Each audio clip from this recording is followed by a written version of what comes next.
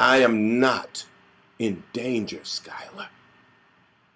I am the danger.